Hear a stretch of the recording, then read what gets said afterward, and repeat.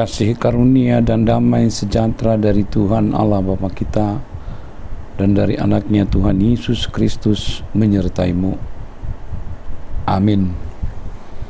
Amang dan Inang dan saudara-saudara yang terkasih dalam Kristus Yesus Tuhan kita, kita bersyukur di hari yang baru ini, di minggu yang baru yang Tuhan berikan kepada kita dan kita bersyukur atas segala kasihnya yang menyertai kita sampai saat ini.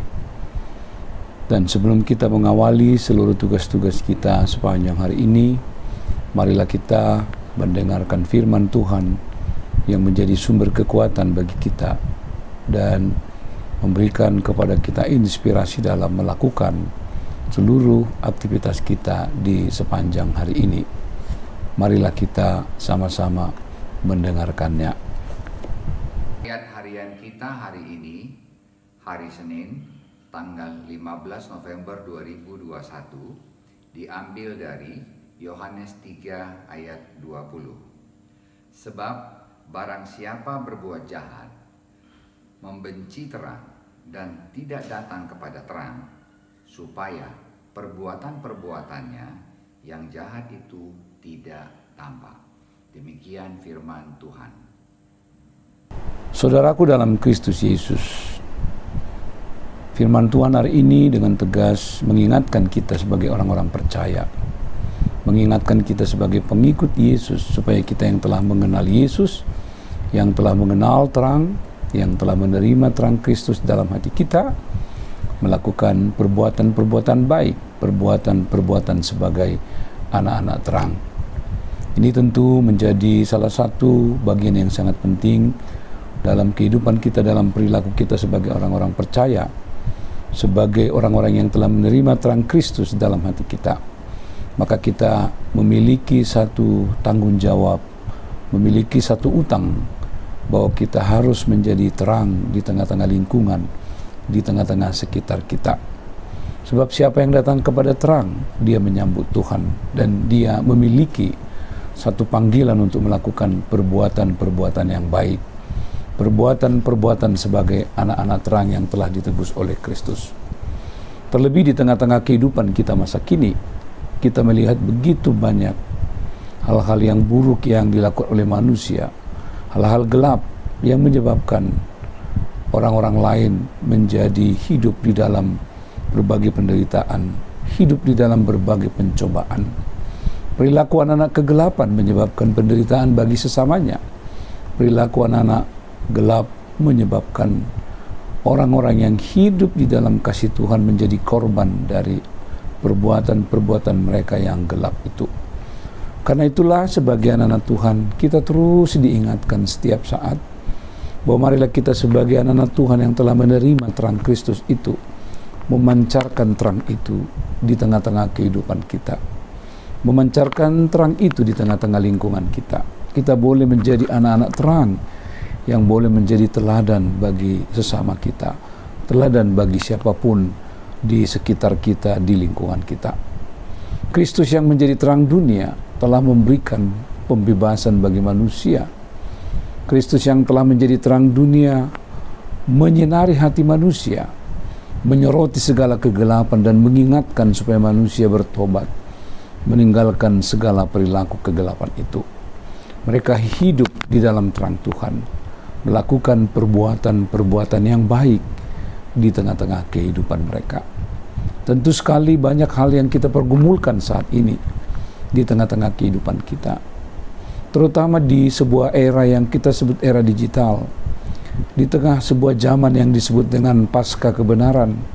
Bahwa hal-hal yang tidak benar, bahwa perilaku-perilaku kegelapan oleh karena kecerdikan manusia kemudian dapat diputar balikkan kesalahan dan kejahatan seolah-olah dapat diubah menjadi sebuah kebenaran.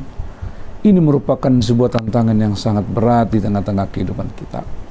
Orang-orang percaya harus memiliki perlengkapan rohani yang lebih sungguh-sungguh harus hidup bersandar di dalam Tuhan supaya mereka mampu untuk menghadapi dan melawan segala perilaku kegelapan itu. Lihatlah tidak sedikit anak-anak Tuhan mereka mengaku Yesus sebagai Tuhan yang telah menerima terang Kristus itu mereka akhirnya kalah dengan kejahatan. Mereka akhirnya kalah dengan perilaku kegelapan. Mereka seakan-akan tidak mampu untuk melakukan perilaku terang, hidup sebagai anak-anak terang di tengah-tengah berbagai kondisi yang sering menggambarkan kegelapan sepertinya menguasai, mendominasi kehidupan umat manusia. Tidak sedikit anak-anak Tuhan mereka yang tetap berteguh di dalam iman percaya kepada Tuhan, berteguh kepada terang Kristus itu dilecehkan. Mereka sering direndahkan, mereka sering dianggap sebagai orang-orang yang menyimpang dari hal-hal yang lazim dilakukan oleh manusia pada zaman itu. Mereka sering dianggap sebagai orang-orang yang aneh, masih ada orang-orang yang berperilaku seperti itu di zaman yang sangat gelap. Dan anak-anak Tuhan menghadapi ujian yang tidak begitu ringan lagi, melainkan ujian yang sangat berat.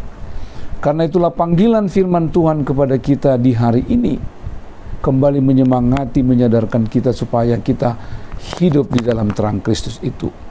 Marilah kita bersandar dan marilah kita berdoa memohon. Marilah kita mengundang Tuhan di dalam hidup kita sebagai sumber terang itu supaya kita dikeguhkan, dikuatkan untuk melakukan perilaku anak-anak terang untuk menjadi terang dunia ini untuk dapat menjadi terang di sekitar kita menjadi teladan menjadi contoh di tengah-tengah sekitar kita. Marilah itu kita mulai dari lingkungan-lingkungan yang kecil dalam skala-skala yang sangat kecil bahwa kita harus menunjukkan tanda-tanda sebagai anak-anak terang, sebagai anak-anak yang telah menerima terang Kristus itu dengan membangun sikap kejujuran, ketulusan, hidup rendah hati, mengatakan ya kalau ya, tidak kalau tidak. Kita boleh hidup sebagai anak-anak Tuhan, menjadi anak-anak terang yang boleh menjadi sahabat bagi sesama dan tentu sekali kita memiliki tanggung jawab untuk menerangi perilaku-perilaku kegelapan. Hari ini Tuhan mengundang kita supaya hidup menjadi sumber terang di tengah-tengah hidup kita. Karena kita telah menerima terang Kristus di dalam hidup kita. Karena melalui penebusan Yesus keselamatan yang telah dilakukannya. Kita mendapatkan terang itu dari dia. Dan kita diundang untuk hidup menjadi anak-anak terang mengingatkan perilaku dunia ini dan menasehati perilaku-perilaku kejahatan, perilaku-perilaku kegelapan dengan memberikan sikap sebagai anak-anak terang, maka kita telah ikut memberikan satu teladan bagi lingkungan sekitar kita.